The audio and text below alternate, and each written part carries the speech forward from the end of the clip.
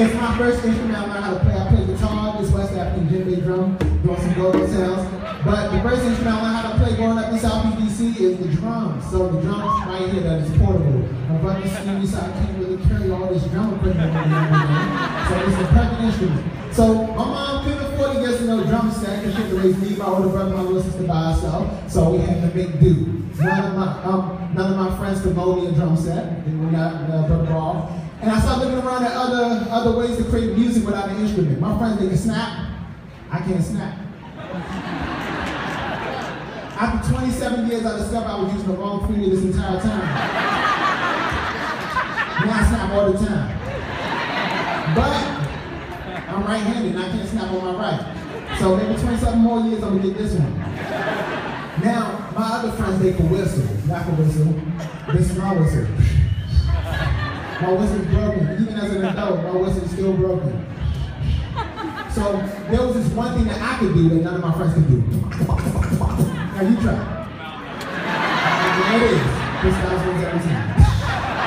This is my thing. This is my one thing I could do that made me different from everyone else. So I continue to do these sounds waking up in the morning, making a bowl of cereal, eating a bowl of cereal. My mom was like, yo, what are you doing? You're doing fruity pebbles on this. Now, I don't know if y'all know, but my mom was a DJ. My mom was a DJ, so she heard me doing those sounds one Saturday morning. She pulled me to the side by the afro and wanted to play me a record. You know, when I talk to kids about this, I'm like, a record, it's like a CD times 10, and it's all black. So she pulls out this record, right? And she starts playing the music. And when I heard this record, it sounded like this. Told me that's Dougie Fresh from New York City. I was like, what is a Dougie Fresh? She said, it's a guy. He's doing all the sound and this record by himself. I said, even the drum sound? She said, especially the drum sound. That's the human beatbox. That's exactly what you're doing. From that moment on, I knew that these same sounds I've been doing, waking up in the morning, making a bowl of cereal, and getting on my little face. These same sounds, something called the human beatbox. From then I kept on doing these sounds. I started learning different things, and now this is my my principal instrument right here, and it's portable. So this piece right here is in honor of the human beatbox, and we're going to be mixing the classical flavor right here. We're going to do a little bit of Canon in D, which has a lot of parts that repeat like a loop, so it's very hip hop. Alright, so we're going to play a little record and make it work. When I say it's the beatbox, I'm trying to say it's the beatbox. Alright, we're going to call and response. It's the Southeast, and I can't help it. Alright? So now we'll put on the record real quick.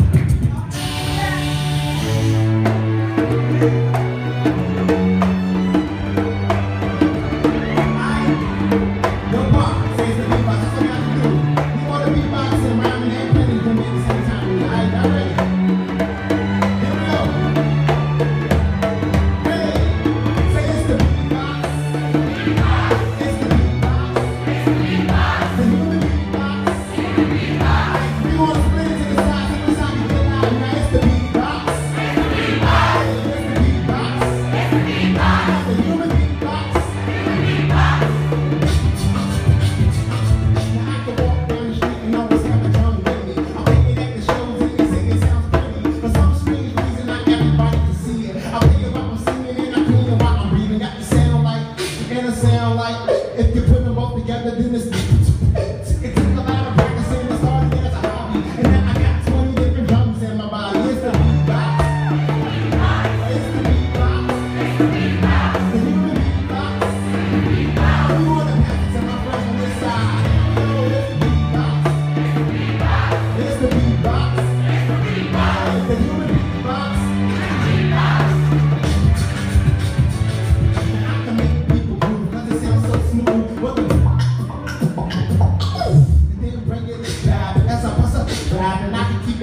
cause it's cool like